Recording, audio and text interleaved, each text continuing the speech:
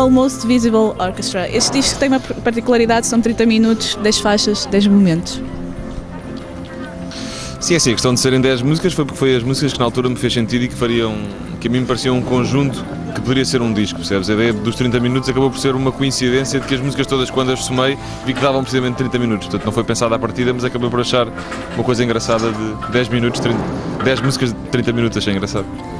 Este, estes 10 momentos uh, transportam-nos então para uma para a tua própria realidade, que é uma ambiguidade entre a, entre a realidade e o sonho.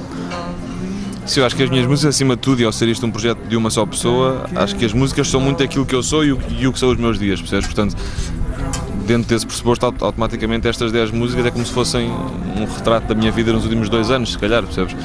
Portanto, não é que eu viva sempre nessa, nessa ambiguidade que estás a dizer, mas se calhar a parte da música e a ideia de, de fazeres discos e de fazeres concertos e das pessoas poderem gostar daquilo que tu fazes está um bocadinho nessa cena de, do sonho de muito novo, percebes? Portanto, se calhar a ambiguidade que está nas músicas vem muito também daí de. Parece que enquanto conseguir fazer uma coisa que realmente gosto, estás sempre nessa. Estás na tua realidade, mas estás a gostar do que estás a fazer, então é quase como se fosse um sonho, não é? É um sonho que, que vale a pena. Sim, acho que sim. Take it slow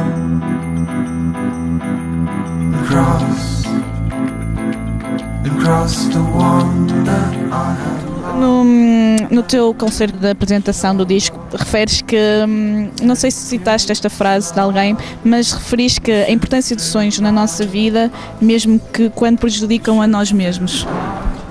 Isso foi com base numa das músicas que, é, que acho que é a terceira música do disco, que é mais ou menos baseada na, na história de vida do, do, do, Francisco Lázaro e a história dele de vida é um bocadinho essa ideia de lutares por um sonho independentemente disso de prejudicar a ti e no caso dele prejudicou tanto que acabou por morrer mesmo, percebes? Não sei se em relação a mim próprio já tive um prejuízo direto na minha vida direta, percebes? Mas automaticamente eu acho que fazes sempre uma série de sacrifícios e muitos deles, se calhar, podem de alguma forma prejudicar até a tua vida social, entre, porque estás muito tempo fechado num sítio, abdicas de muitas coisas ou de muitos convites que pudesses ter feito, percebes? Portanto, não sei se diretamente até hoje nunca tive um prejuízo assim mesmo grande, mas se calhar o esforço que vais fazendo ou as coisas que vais abdicando podem ser um bocadinho de, de coisas ou de prejuízo que vais tendo, percebes?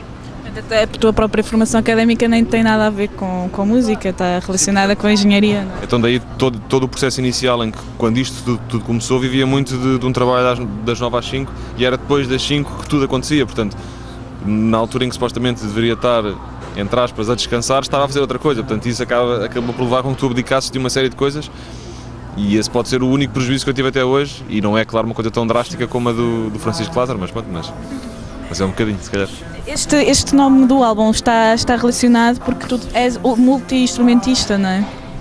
Sim, a ideia do disco é um bocadinho, a ideia do título do disco é um bocadinho transcrever o que são estas músicas. Eu acho que estas músicas, comparando com as anteriores, são, são realmente um bocado mais complexas e mais densas e mais orquestradas. E então, dessa forma, a mim, quando as ouvi todas seguidas, parecia que estava uma orquestra a tocar comigo, percebes? Então daí o título de, de uma orquestra quase visível, ou se calhar até uma orquestra mesmo, não é?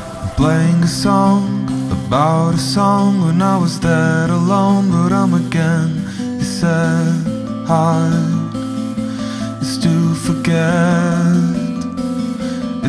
No teu segundo, no segundo tema uh, tiveste diversos, no segundo single tiveste diversos convidados, como é que foi essa, esta Assim, em termos de experiência foi, foi muito bom acima de tudo porque já conhecia todas as pessoas que convidei, portanto foi quase como que uma brincadeira de amigos eles todos colaborarem naquela música, não é?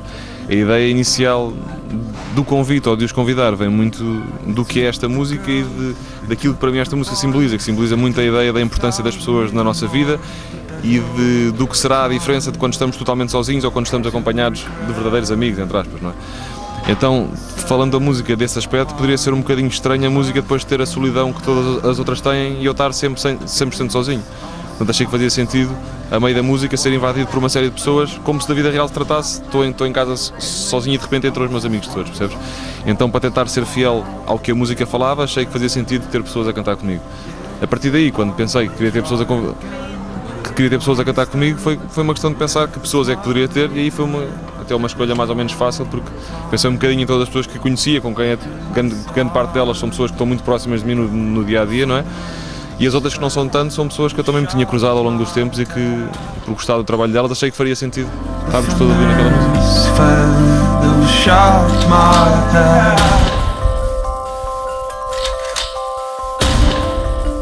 atmosfera muito colorida nas tuas canções. Nestas novas ou em, ou em todas? Uhum. Assim, eu acho que estas músicas novas são, são mais coloridas, entre aspas, do que as anteriores, até porque acho que as anteriores eram, eram mais pesadas ou mais, mais tristes, entre aspas. Acho que estas também têm esses momentos, mas não são tão como as anteriores. Se calhar, como eu estava a dizer no princípio, as músicas são um bocadinho o reflexo da minha vida no período em que as fiz. Se calhar a minha vida está mais colorida agora do que na altura, então as músicas saíram mais assim, percebes? Acho que pode ser por aí. Muito obrigada, David. É. draw your blood. It's all nonsense.